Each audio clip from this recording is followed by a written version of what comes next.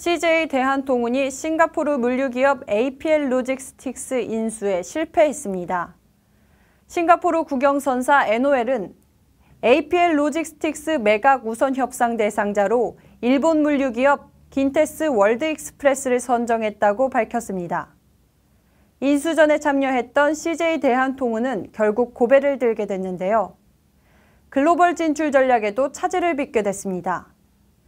CJ그룹 송경식 회장은 신년사에서 해외 기업 M&A를 통해 CJ 대한통운을 글로벌 물류회사로 만들겠다는 뜻을 밝힌 바 있습니다.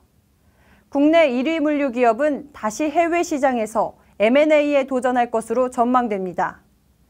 증권가는 CJ 대한통운의 APL 로직스틱스 인수가 무산됐지만 중국 및 미국 내 물류 계약 수주 등 여전히 중장기 성장의 기대감이 유효하다고 판단했습니다. 향후 CJ 대한통운의 행보에 경제계의 이목이 집중되고 있습니다. KSG 뉴스 정지입니다.